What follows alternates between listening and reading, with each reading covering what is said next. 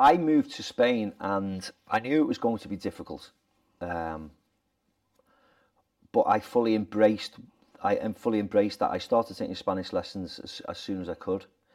I didn't want to go to Spain and um, live in a hotel for a while. I mean, I'm, I'm only talking about a footballer's life, so you have to excuse me.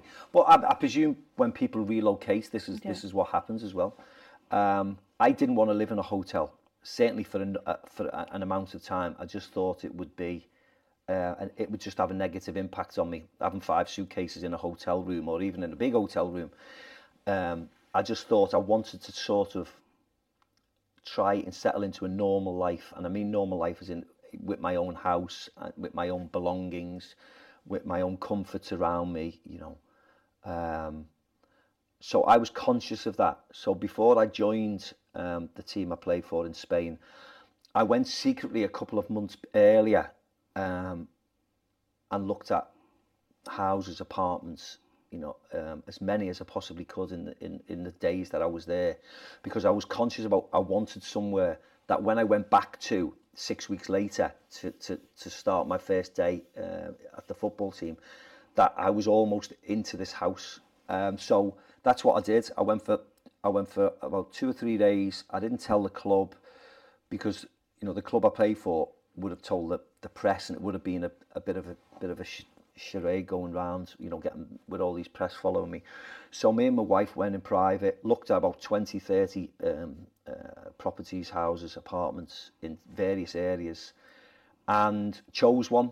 So when I went back six weeks later, um, I'd almost I had a night in a hotel maybe, and then I started work and I went on pre-season tour for two weeks, and that was difficult because I, I, I got taken away from my comfort zone. I literally trained in the morning and in the afternoon we went to I think we went to Austria I think it was for a couple of weeks, and just to get away from the heat, and I was locked away with 30, 40 people, and I think there was one of them maybe who spoke English, uh, French lad. Um, so it was it was really really difficult seeing people seeing Spanish people seeing Brazilian people who you know of course had accents of, of, of Portuguese um, who could speak Spanish you know French lads you know people from all over the globe and then you, you're all just thrown into this melting pot and you know brutally it's like you have to get on with it you know there's nobody holding your hand or putting their arm around you because you can't speak English And, you know, as I said to you before, I'd just sit and I'd talk and I'd say hola and I'd, you know, I'd say this and I'd do this and, and I'd sit up till two o'clock and they'd all be having a beer and I'd be with them and they'd all be telling all these stories in Spanish that I couldn't understand and then they'd go to bed and I'd go good night and I'd go. But it was um, incredibly lonely, you know, particularly those two weeks. When you're on the when you're on the football field, it was fine. When you trained, it was great. You're running around, you're playing football, you're showing them how good you are at football. So you're passing that test instantly. Oh, we can play football, actually, he's okay. And then you, then later on at dinner time, you know, as I said, at dinner, you could easily just gone to your room for six hours and just, you know, huddled yourself away.